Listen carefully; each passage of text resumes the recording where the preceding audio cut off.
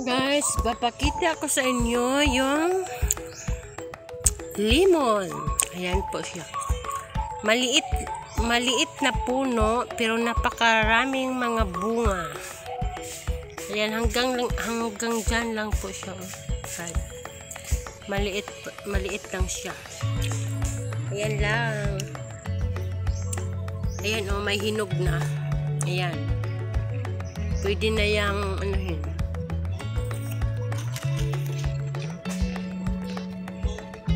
Pwede na siya malapit na siyang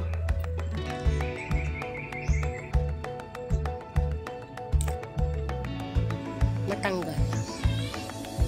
Ayan, ito din. Oh.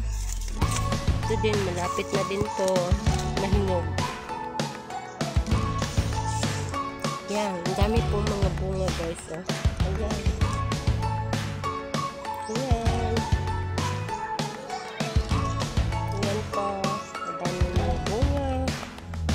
Maliit lang siya na puno, pero napakarami yung bunga. Ayan pa guys. Oh. Ayan pa.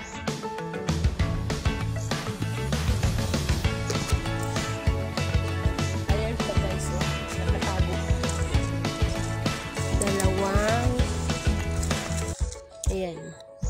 So, ito may ano pa. Ayan. Maliliit pa siya. Ayan. Malapit na yan. Andun, meron pa dun sa likod guys. Tingnan natin. Tingnan natin dun sa likod. Oops. Ayan guys. Ayan. Ito din. Ayan. Ang dami niyang bunga guys. Oh. Itong lemon ito. Ayan guys. Ayan. Ayan.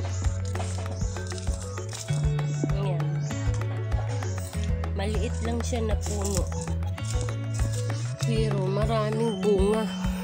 Kaya nakakapag ano, sarap tingnan. Kasi marami siyang mga bunga guys. Yan, ganyan lang po siya kaliit. Yan.